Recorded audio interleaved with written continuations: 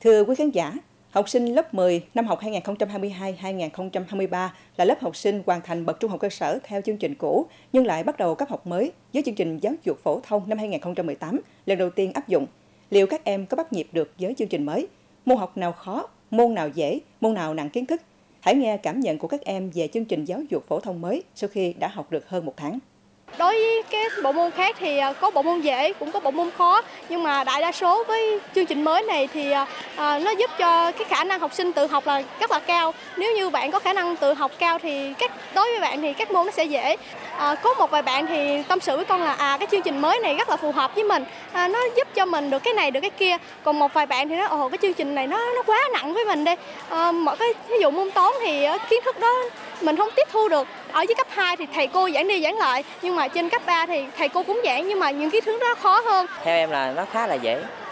À, có nhiều chủ đề hay nhưng mà có vài chỗ lấn cấn nhất là trong môn sinh học. Cô nói là sinh học tên của các uh, mấy con virus đồ là phải nói theo à, Latin nhưng mà trong sách là nó ghi tiếng Anh. Toán văn thì nó khá là dễ hiểu.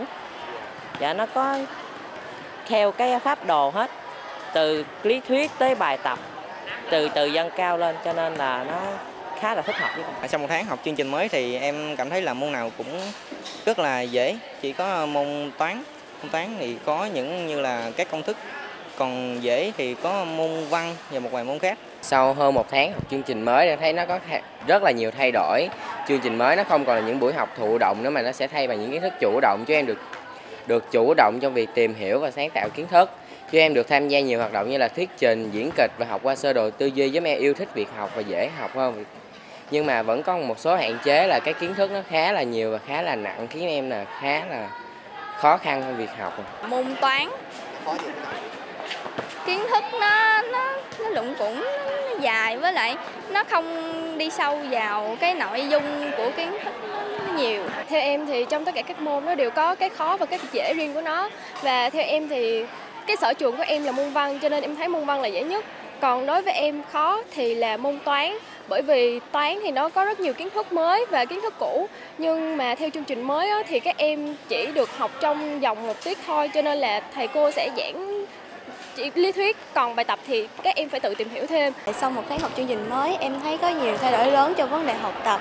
Đó chính là phần lớn ờ, em sẽ tự học nhiều hơn dựa trên những hướng dẫn của giáo viên và được ờ, thực hành nhiều hoạt động trải nghiệm. Rồi ờ, giúp em có thể được năng nổ hơn trong quá trình học tập, phát triển tư duy suy nghĩ. Và vì trong bài thi nó sẽ mở rộng hơn với những gì em đã học cho nên là sau tiết học thì em sẽ cần nắm những ờ, ý nghĩa bao quát để có thể vừa vận dụng trong các bài học khác và cả trong đời sống.